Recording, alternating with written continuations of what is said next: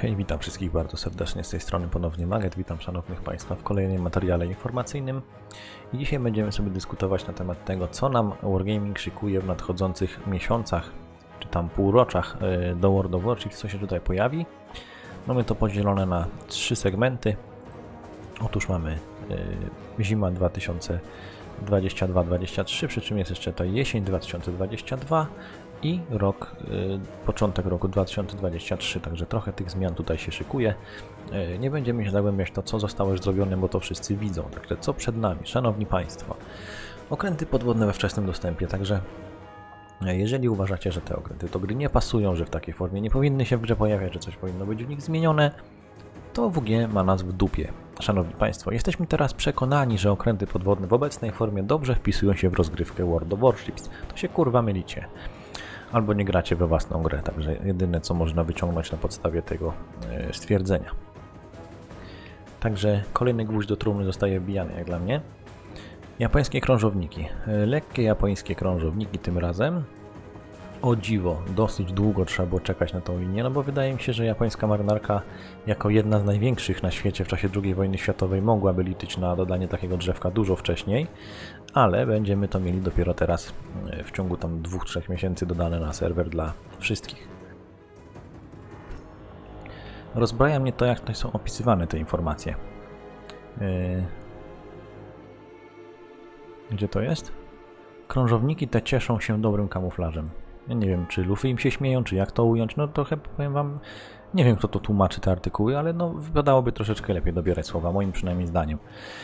E, czym te okręty się będą charakteryzować? Otóż przyzwoity zasięg głównej artylerii, dużo e, dział głównej artylerii, ale średni reload i torpedy o przyzwoitym zasięgu i dobrych uszkodzeniach.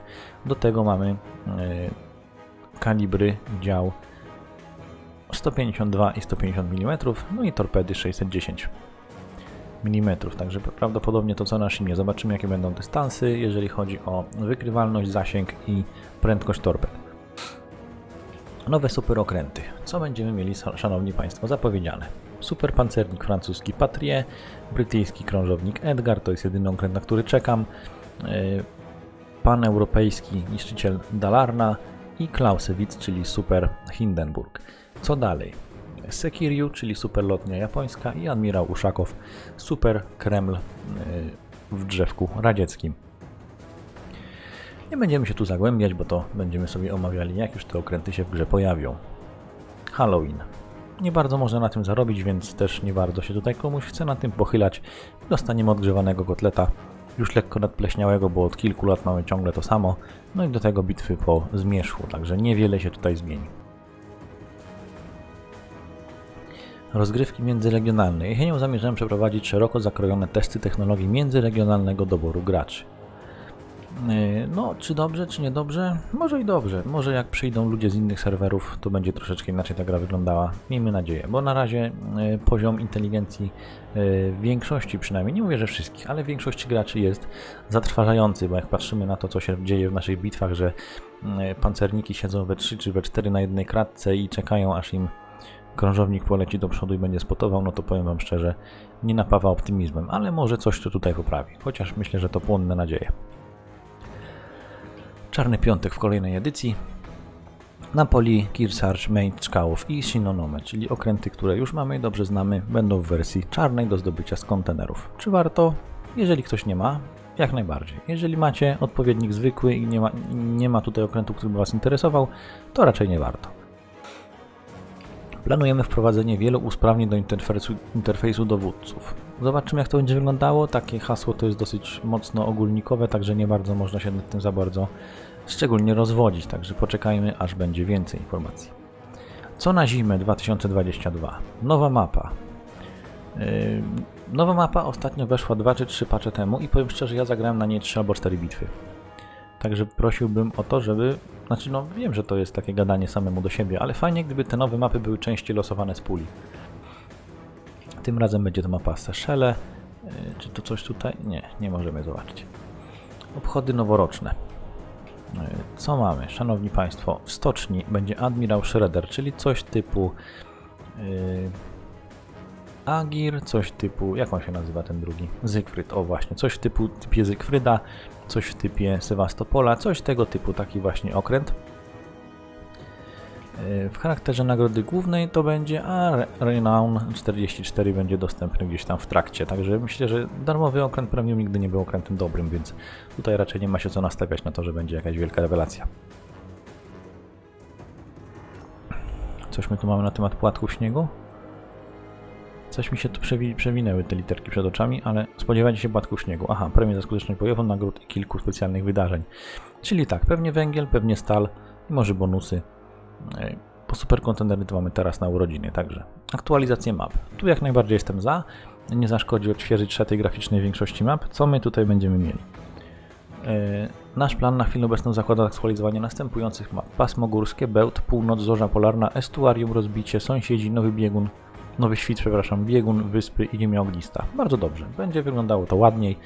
I tak pod względem graficznym WoWs nie ma sobie równych, nie ma absolutnie żadnej sensownej konkurencji, jeżeli chodzi o e, wygląd rozgrywki.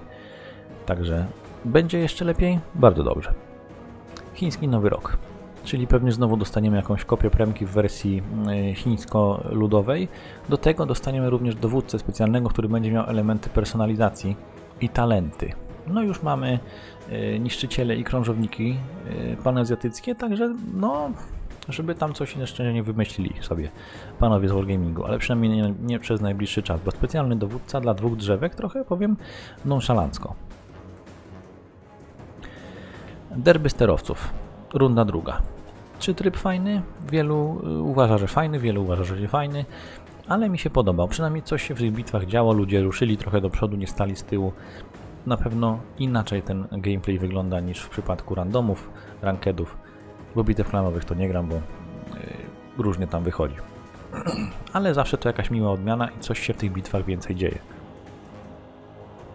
Planujemy kilka technicznych poprawek jeszcze na koniec tego roku. To też dosyć ogólnikowe stwierdzenie. Powiadomienia w porcie dla graczy zostaną zaktualizowane. Może i dobrze, zobaczymy co z tego wyjdzie. Ech, 2023 rok. Szanowni Państwo, łowcy nagród, czyli będziemy yy, polować na konkretne osoby lub konkretne okręty oznaczone specjalnie w bitwie i będą jakieś tam za to sobie nagrody. Osiągnięcia. Pracujemy nad dodaniem nowych osiągnięć do gry, w tym osiągnięć dla różnych trybów bitew, np. klanowych i kooperacyjnych. Dzięki temu jeszcze bardziej urozmaicimy rozgrywkę i uwypuklimy postępy graczy w grze. Główno prawda, bo za osiągnięcia obecnie nie ma nic poza tym, że właśnie graficznym osiągnięciem. Wcześniej jak były za to sygnały, to warto było się starać, a teraz wpadnie to wpadnie, nie wpadnie to też dobrze. Nowe amerykańskie pancerniki hybrydowe, szanowni państwo. Gałąź amerykańskich pancerników będzie czekać na graczy zimą i one się rozpoczną od tieru 8, czyli mamy Nebraska, e, Delaware i Louisiana. Przypomnijmy jeszcze, że Kearsarge'a mamy na tierze 9 jako premkę za węgiel. E, z całą pewnością można stwierdzić, że to będą okręty uzbrojone w działa 406 mm. Warto pamiętać też, że Będą to okręty pewnie tak chłonne na damage jak i Kearsarge, ale to jest naprawdę zajebisty okręt, więc jeżeli linia będzie zbliżona do tego, co ten okręt prezentuje, to myślę, że warto będzie się nad tym pochylić. Europejskie niszczyciele, szanowni państwo. W przyszłym roku wprowadzimy kolejną gałąź europejskich niszczycieli. Będzie się do niej zaliczać kilka europejskich krajów, takich jak Polska. Przy czym ja bardzo mocno studzę zapały na temat polskiej linii okrętów w WoWsie, bo Doskonale wiemy, że większość, no praktycznie wszystkie okręty, którymi dysponowała polska marynarka wojenna, to są konstrukcje zagraniczne, które kupiliśmy, dostaliśmy czy zdobyliśmy. No mniejsza o to, w jakim systemie zostały do nas, w jakim, jak do nas trafiły. To są po prostu konstrukcje, które już są w grze, czyli tak jakbyśmy chcieli sobie robić e, krążowniki, no to mamy, ile tych krążowników było? Dwa, trzy? E, ja wiem, projekty, ale jak przecież słyszymy projekty w WoWsie, to wielu się otwiera nóż kieszeni, że o kurwa, znowu z kartki wymyślili jakieś tam gdzieś tam na serwetce narysowane, ale jak polska linia, to ho, ho, ho, nie, nie, nie, to już nie jest ważne, byle polska linia była, także troszeczkę hipokryzja. No i po co robić y, polskie drzewko, tak jakby zrobić... Hmm, ciężko stwierdzić. Panazjatyckie też w większości składałoby się z okrętów, które już mamy w grze dostępnych, tylko pod inną e, banderą. Także czy jest sens? No ja uważam, że nie za bardzo. Ale są fanatycy, którzy pewnie będą chcieli sobie coś takiego zobaczyć. E, I to by było główne to, co chcieliśmy tutaj omówić. Czy my mamy gdzieś te okręty hybrydowe do zobaczenia?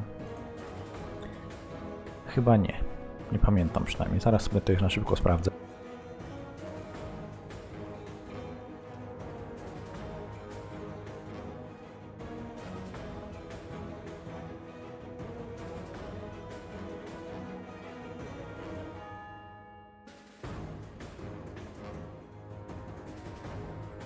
No nie, patrzę sobie teraz tutaj na informacje na temat tych Bryty... e, przepraszam, amerykańskich hybrydowych okrętów, ale nic ponad to, co mamy tutaj przed sobą nie wiemy, także nie widzimy nic na ich temat. No i to chyba byłoby tyle w tym materiale, także bardzo dziękuję za uwagę, zapraszam Was do dyskusji na temat tego, co nam tutaj Wargaming szykuje. Z mojej strony wszystko, do usłyszenia i na razie.